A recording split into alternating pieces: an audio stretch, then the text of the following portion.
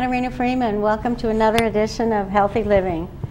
Our guest today is a physicist, and you may wonder what physics has to do with health.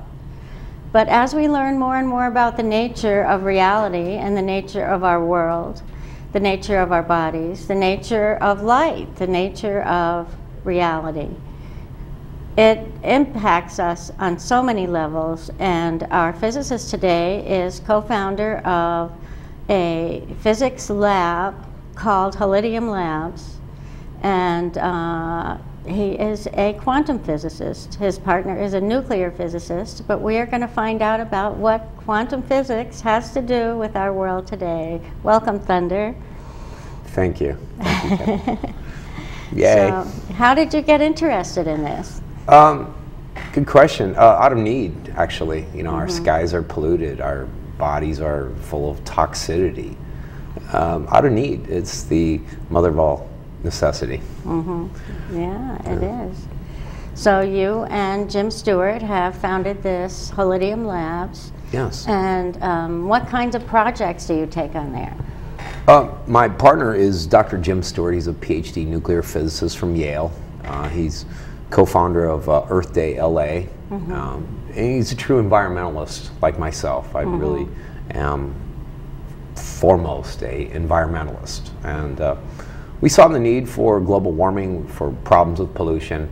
And uh, after 10 years of research and developing uh, quantum mechanics frequencies that are reducing pollution, uh, me and Jim uh, founded Holidium Labs. Mm-hmm. It's been about a year. The projects that we look at, um, We've had two um, tests done in independent labs to validate our, our uh, technology, and we set world records. Mm -hmm. So mm-hmm. that's exciting stuff. Uh, we reduced more pollution out of a diesel um, vehicle than has ever done in the last 32 years of, of testing. Wow.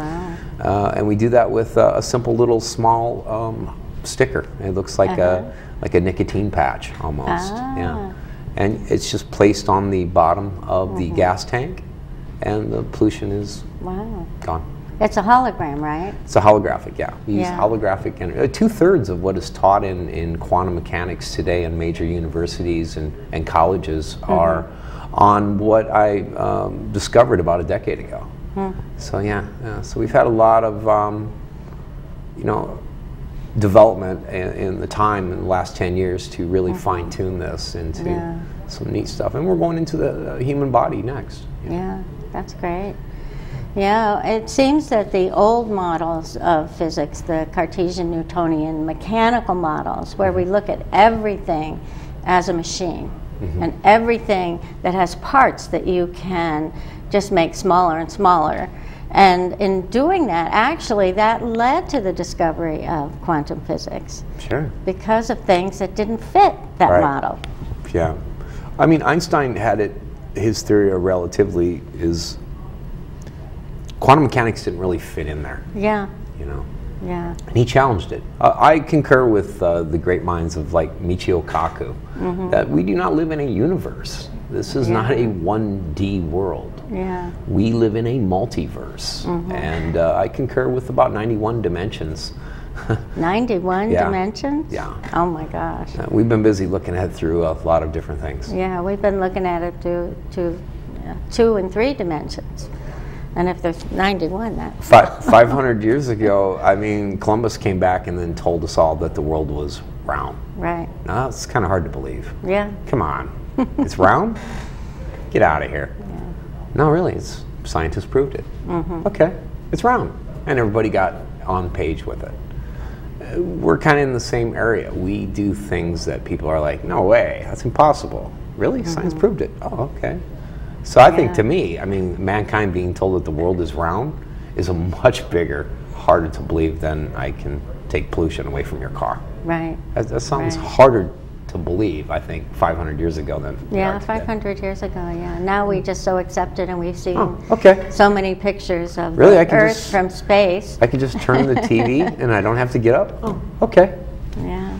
So, I mean, we're, we're, we're adapting very well as, as mankind is moving technology in with mm-hmm. it. And we integrate quite nicely, mm-hmm. very nicely. Yeah, yeah. So um, you spoke at our uh, last health fair, Yes. and um, you gave some of us some of those little stickers. And one of my friends and I put it on her son's car. He had to have his car smogged. And, um, you know, we drove it around first to get, you know, because you have to get all that Clean stuff out of the engine before it's tested. And so they tested it, it did pass. Yay. And then we put the sticker on and we drove it around a little more. Uh-huh. And then came back, and some of two of the levels had gone down. One, you know, Okay. because you're looking at parts per million, so Right. it's, you know, but still, one of them went down like 50 points Sure. just in that little 10 minutes. The other one went down about 10 points. I was going to bring the paperwork with me, but I didn't get it in time.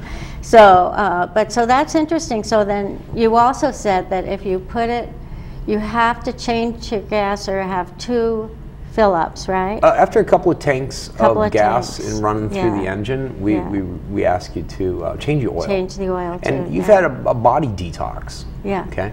Think Yeah. of this. This is a car detox. Car detox, yeah. And it just simply cleans out all of the nasty stuff that's stuck Yeah. inside your engine. Yeah, so we're going to do that. We're going to, after two tanks of gas, we're going to have him change the oil, and then we're going to test it again.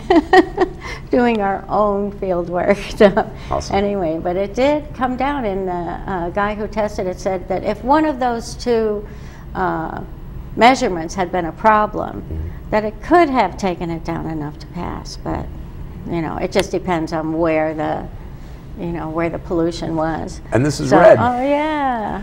Reduced emissions device. Yeah. Uh, we named it appropriately. Yeah. Mm-hmm. It does what it says. That was the actual um, model that we tested Mm-hmm. uh, right at the California EPA Environmental Engineering Lab. Yeah. yeah, here in Santa Ana. And uh, blew a world record. I mean, they've never seen anything reduce more than 2 points in 30 years. Wow. Now, this wasn't your, your mom and pop smog sniffer. This was Mm-hmm. at a this was a, a 12 uh, $12,000 test. So it was Yeah. uh, done seriously. And uh, we, we crushed uh, emissions 38% our first try. Wow, that's really good because cars are one of the biggest pollutants on this planet. Of course. Really. Of course. Yeah.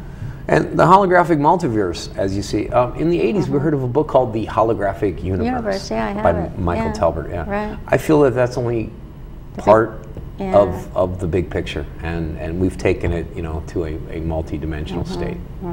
Yeah. Yeah.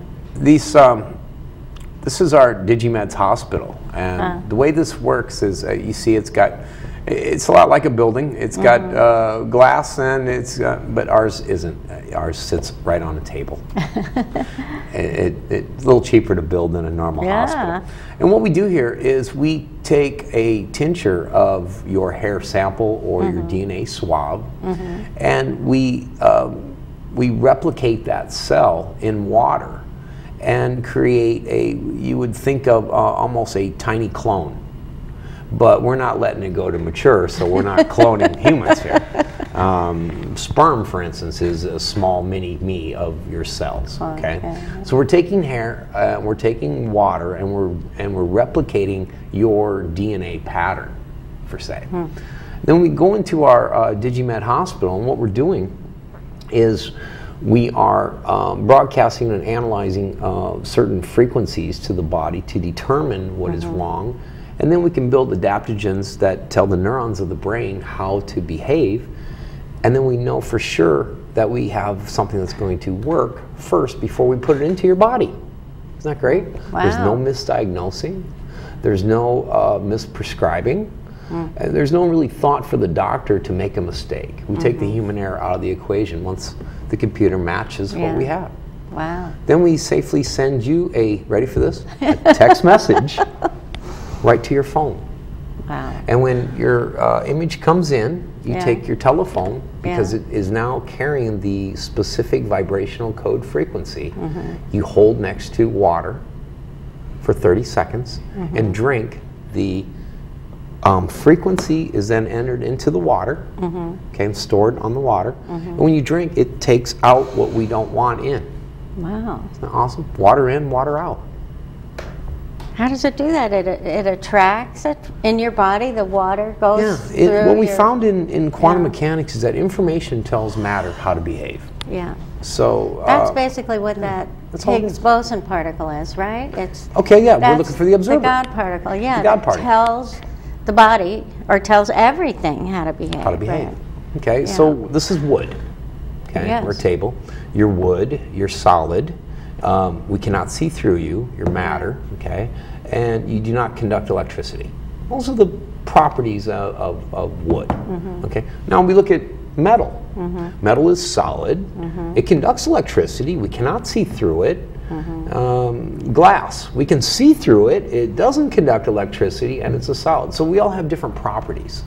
So if we can take the essence of one, say metal, mm-hmm. and we capture that vibrational state, we can then transduce it into a holographic state, place the hologram on the wood, and within 30 seconds now, it starts to vibrate like metal. It's still chemically wood, mm-hmm. but now it's monatomic state. It's vibrating mm. and takes on the properties of metal. Is it getting confused about who it is, its identity? it has an identity, identity crisis. Yeah. Yeah. What am I? Um, and so now the properties start to take over. Mm-hmm. So now the wood can conduct electricity as if it was metal. oh my God. And now when we do this in our pollution, Mm-hmm. because we're looking to take out 78 trace toxins. You know when we smog our car, we look for five things? Yeah. There's 74 other things that scientists aren't, the world is not even aware. Wow. Also comes out of your car. So we took a look at each one of those Yeah. each one of those elements and we neutralized them using a frequency. So that when your end result, you got, you, didn't you like the smell coming out of that car? Yeah, there was no smell. It disappeared. We smelled it before. Steam. Everybody's car did Everyone. that. We did five of them Everybody's that day. car. Yeah. Yeah, and then it fun stuff. disappeared. Yeah, it was fun. Really fun. This is uh, this is an amazing science. Thank you. it really is, and, and it's the nature. It's you're just using the nature of reality, really. Well, This we study what- nature very well. Mm-hmm. Nature is a great thing. Nature will tell you all the answers to all your questions. Mm-hmm. Somehow, some way, God figured out the way. Right, right. I drink coconut juice, or